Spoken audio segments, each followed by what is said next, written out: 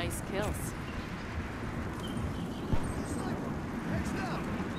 Hostile HCXD in your AO. Scatter ready.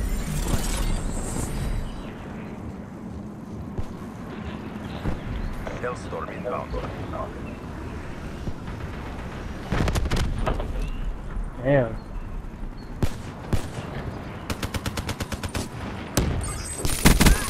Okay, now I can't find Maven. HCXD inbound.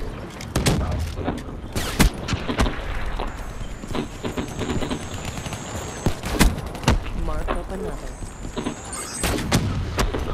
That's how it's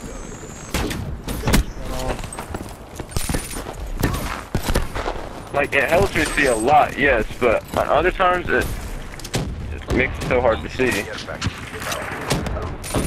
Yeah, it's like, I like it for like, if I'm hard scoping, but I don't like it if I'm quick scoping.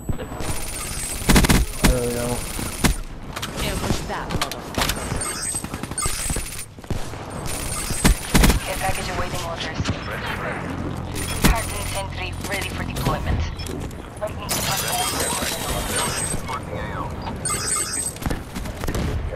Lightning strike coordinates received. Oh, I didn't get nobody. MTL exhausted. End this now. Yeah, Friendly tower inbound. Reputation is our best deterrent. Excellent work. And that's a wrap. Overwatch signing off. I was the last, I was the last place, what, 25 40. I'm definitely taking that thermal off Yeah. for next I'll round. be right back. That's right. Alright, I'm your worst nightmare in the TOO.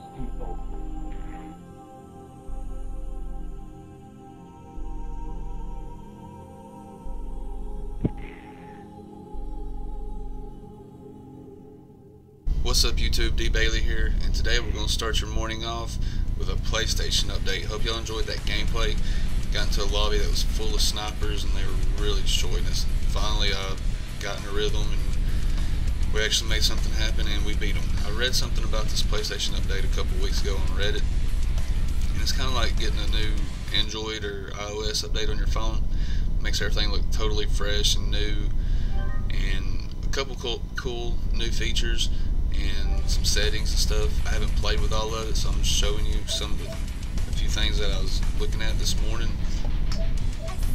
And also, you can play music, and which I mean, you always could play Spotify in the background of your music, but they just have a different setting, and the uh, menus will drop down to the side instead of like totally leaving your screen, leaving your game to go to the settings. It has drop down menu boxes for the game, for when you hold the PS button to log in and out, change users and whatnot.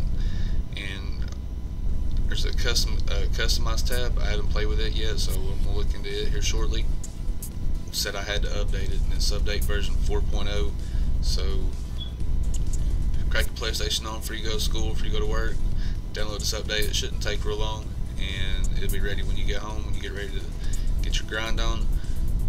And here is uh, drop down menu boxes from like when you leave the game and then if you close the application you want to switch users uh, users will be under power that's where you'll go for that here's the Spotify menu and it recommends games or it recommends songs for whatever game you're playing I suppose like I said I'm, I just turned it on a little while ago so let me know if you find something cool and new what you think about the new update and check out my previous videos.